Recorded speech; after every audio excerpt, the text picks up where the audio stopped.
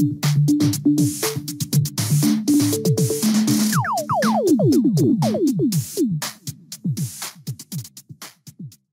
question of the alignment of artificial intelligence with our human values and norms comes down to the questions of who determines the future. And that comes down to the importance of asking the question WTF. And I know if you've been with me in these lectures, you probably get tired of this joke now. I do not get tired of pointing out the importance of asking WTF. So if you have a machine learning logic, you feed it the machine with data and with some kind of reward function, loss function, utility function, objective function that gives you your goal. The output is the knowledge, how you get there, but you feed it the objective. So therefore, never get tired of asking WTF, what's the function?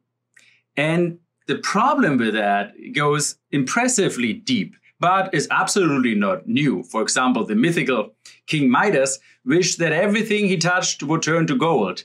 Turns out all his loved ones turned to gold, and that didn't end very well. It's actually like fast forward a few hundred year, million years. There is the famous Goethe's, Johann Wolfgang von Goethe's Sorcerer's Apprentice, who careful what you wished for, or, or Mickey's Disney. So, so, it depends on what your favorite literature is. But the idea of be careful what you wish for is very common. And it's one of the cruxes of control theory, actually. We, the question is, how can we stay in control? So let's ask one of the most prominent control theorists, Professor Norbert Wiener. One also was among the founding generation of the digital paradigm, a pioneer in cybernetics, the, the study of control. And what Norbert Wiener told us is that if we use to achieve our purposes a mechanical agency with whose operation we cannot efficiently interfere once we have started it, then we had better be quite sure that the purpose put into the machine is the purpose which we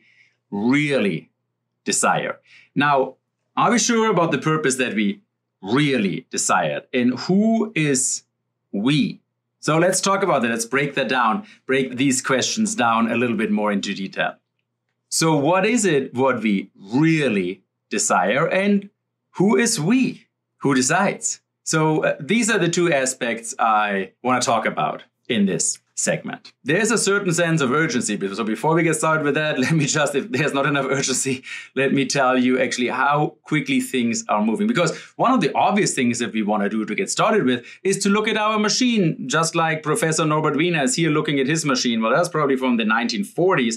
And you probably could understand what's going on in these wheels and clockworks and what, whatever Professor Wiener has been building here. Now, these deep neural transformer, large network nets that they are really incomprehensible. So actually, one of the best bets we are having and that many people are working on is to develop some trustworthy AI that helps us looking at these incomprehensible, huge AI and help us to align them. And then hopefully these trustworthy AI are also really trustworthy. That's how fast this is actually developing. And that's how big the challenge is. So, okay, so let's go step by step and break it down. Maybe that's the perfect time for a little bit of humor before we before we get deeper into the anxiety. And here's the classic. So be careful what you wish for. Here's the goal in the TV show The Office. In the in this classic, Michael tells the GPS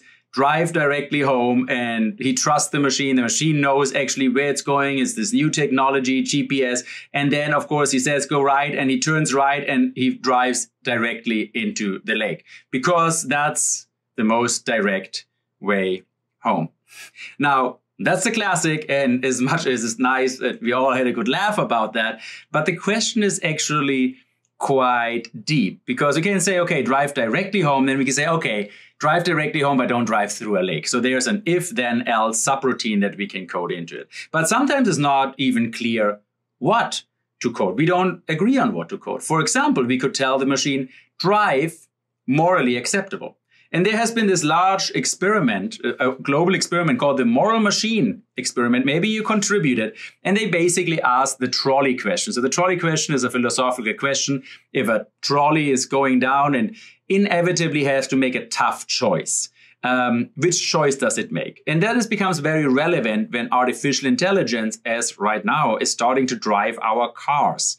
Because we somehow have to program into our cars what decisions to take. Now, a car is a deadly machine. So here, for example, the question was asked, what should a self-driving car do? If there are only two options, let's say you have to choose one of these two options. One, the car could stay course and kill these three pedestrians, two old people and an old woman, or the car could swirl and kill the three passengers, a man, a woman, and a child.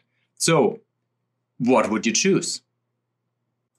Well, we can ask this question and we get actually some results. For example, here on average all over the world, people seem to say, well, we first have to save strollers. Before we save girl, girls, then girls, then boys, and then pregnant women. And then male doctors, which seem to be slightly more valuable than female doctors. And then female athletes. On the other hand, cats are not at all worthy, and much less than dogs. And actually, criminals are less worthy than dogs. Now, old women uh, gotta go before old men, which gotta go before the homeless. Anyways, it's interesting. But so if you just ask people, like literally, that's what they got from all these this huge experiment all over the world. Now, one maybe the most interesting fact about this study was if you zoom down to different cultural regions. Here, for example, you could see that in the southern hemisphere, people agree then that you should be sparing people of higher socioeconomic status. And you should also spare the young. People would agree with that. In the Eastern Hemisphere, they didn't agree with that at all. In the Western Hemisphere, they said, no, higher status doesn't matter so much. But the young, yeah, yeah, yeah, that makes, that makes actually sense. Whereas here in the South, again, they said, well, you should spare females. And in the, so basically you can see that the shape of these cultural values is quite different among different cultural regions. Which leads us to the question who sets the goals? And uh, what do we do if they are contradicting goals? Well, the first solution, like the straightforward answers is yes, I, I agree that there will very likely be very different artificial intelligence in different cultural regions. And we already start to see that artificial intelligence trained in the United States uh, start to act quite differently than artificial intelligence trained in China, start to act very differently than artificial intelligence that actually are adapted to. And that is also a strength that artificial intelligence learns about the local knowledge of it. Now, on the other hand, as well, it starts to, given that these, the digital paradigm is inherently global, it starts to actually create a very interesting dynamic and actually an unseen dynamic between morals and ethics. So let's dive into that a little bit more. So, morals, this was called the moral machine experiment that I just talked about. So, morals are different than ethics, and morals are usually personally guiding principles, internally given, so determined by your belief and habits and convictions. And in the moral machine experiment, they just ask you, what would you believe? Would you spare a cat or a dog or an old person or a young person? Whereas ethics are societal norms and rules. They're often externally given to you. So they are determined by a group or by a culture and by the environment or by a global digital network. So let's let's let, let's talk about that. Well, first of all, morals and ethics, they can also contradict each other. For example, a lawyer who tells the jury that its client is guilty. Now, that might be because out of a moral conviction, the lawyer really, but ethically, by a societal norm, the lawyer is actually paid for and expected to defend the client. But morally, you might say, look, like it's obvious that, you know, that person, that person did it.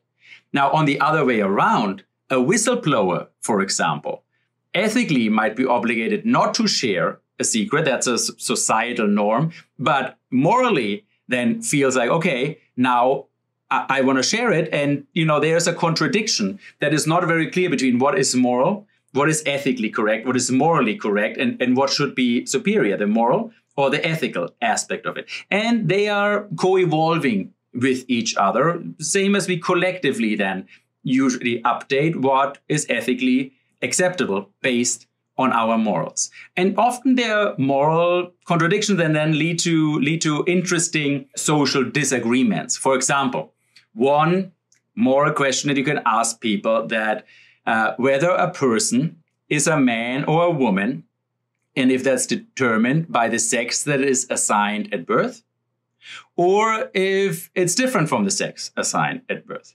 And the population in the United States, the adults, disagree on that. Some believe morally that that's that, and other believe no, no, no, that's that that's not like that. Now, if you have a global reach, imagine you would have a global network that connects three out of eight people on planet Earth, such as Facebook. Facebook just introduced more than 50 different gender options. And you can choose among more than 50 different gender options when you're in Facebook. I actually once did a study that I actually never published, but uh, that showed that that has a very tangible effect. Just changing that. And Facebook has a global reach. So what I did in this study, I just asked my students, basically a group of students, I asked them, well, how, what percentage of your friends do you think are not heterosexual? And then they gave me a number, let's say between 5 and, and 10%. And then I split them in two. Half of them I had to go to Facebook and I made them think it's kind of like a political experiment or something. And the other half, I had to look at this, like had to look at this, this gender setting and really study all the different kinds of genders that Facebook is offering.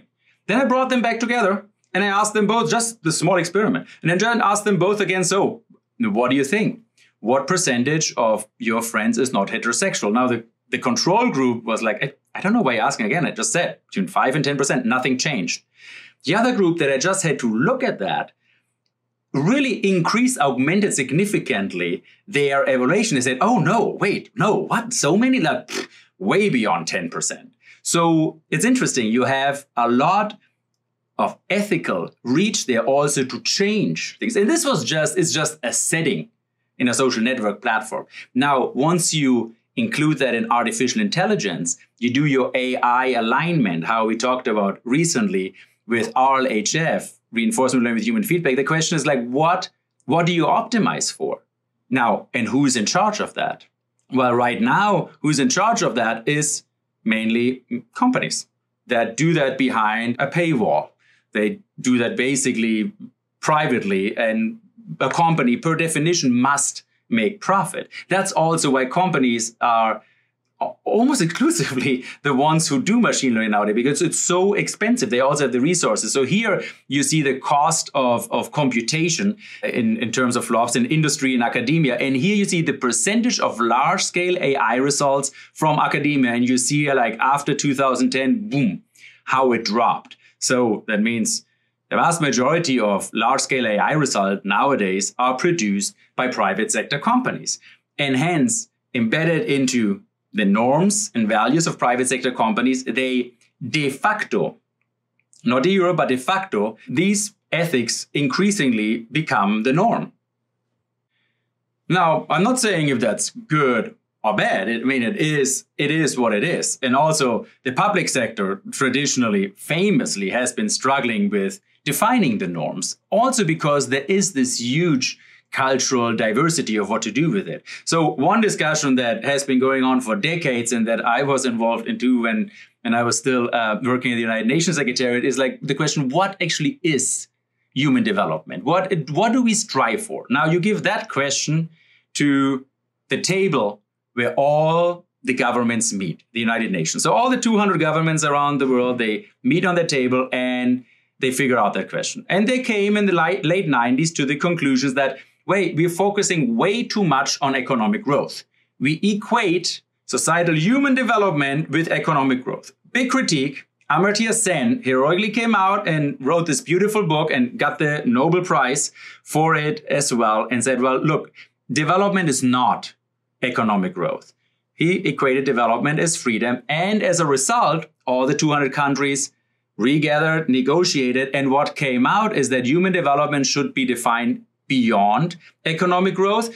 And we define the Human Development Index now as a combination of economic growth, education, and health. So we take different indicators, basically very few life expectancy, how much you go to school, and your income. And we say that's what we strive for. Now, be careful what you wish for. If you would put this into a machine learning, that's what the world optimizes for. And you know, in, in public policy, it's the same thing. You set a goal and you know the carrot, the carrot will be there, and the economy's development will align to try to achieve that carrot. Now, of course, achieving health and education, I, I think like actually all the 200 countries agree that that is much better and just than just eh, increasing economic well-being. But you know, where is is that really freedom? Some people from the West critique that there is you know, no democracy, no participation in there.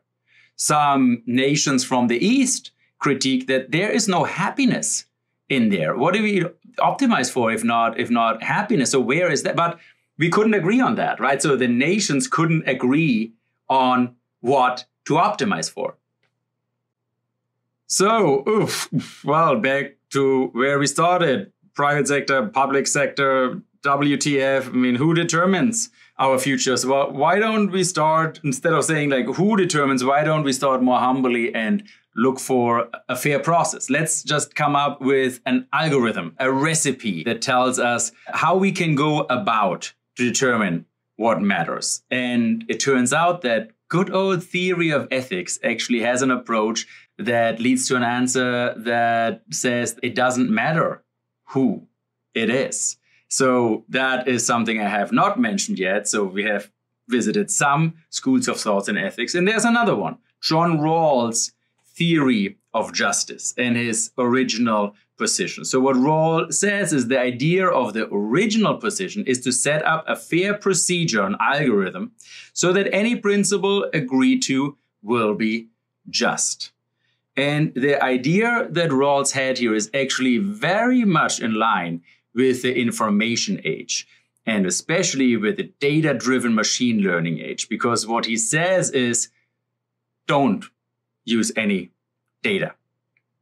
And then you will find a just, a fair algorithm, which is actually very interesting. So, what he says is we have to go into the original position, and you can think about the original position as an original position without any data about what society is about. In the original position, we are really truly all equal. There's like in information theoretic sense, you would say maximal entropy principle. There's there's no distinction. So let's read Rawls how he explains this original position in his own words. He says, Well, no one in the original position knows their place in society, their class position or social status, nor does anyone know their fortune in the distribution of natural assets and abilities, their intellect, strength, and the like nor again does anyone know their conceptions of the good, the particularities of their rational plan of life, or even special features of their psychology, such as their aversion to risk or liability, to optimism or pessimism.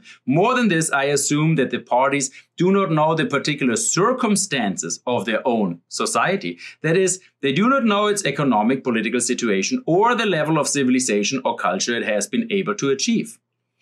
The person in the original position have no information as to which generation they belong to. So you also don't know are you old or young. And he says without any data, then there happens the deliberation. And there we agree, they or whoever is in there, these all equal, uniformly distributed maximal entropy, entropy subjects that are in there that are pure consciousness, you might say, they deliberate, and whatever they decide on says that would be a fair procedure, recipe, algorithm to define actually the ultimate goals of what we strive for. Now, once we agreed on, the veil of ignorance is lifted, data comes back, and there you find out who you are. Maybe you turn out to be rich or poor, or disabled or the best athletes, or young or old. But it doesn't matter. You have been responsible to co deciding it. So you better make sure that whatever turns out to be, you will be fine. It might not all be equal, but it's a risk utility you are willing to live with. And I found that actually, thinking about ethics in the age of artificial intelligence, that Rawls' theory of justice actually a very information age like approach to determine and answer the question WTF? What shall be the function? So it's not as much who because in the original position there is no who. Yeah, there's everybody there is really equal. And to complicate things a little bit, maybe the who says all the parties are humans. Uh, who knows? Maybe, well, okay, so we have to train the machine with data. So the data, but can we train the machine with data in order not to be biased on any data? And could an artificial intelligence guide us along to the original? Because we humans, actually, to get in the original position with our minds, they are so biased. So we might have a better chance to create an original position with an AI, which is not, But well, Lots of work still to be done. What I wanted to leave you here is some link there to the more traditional theory of ethics, which I think has very valuable contribution to guide this modern discussion, which is generally framed under the catch term AI alignment.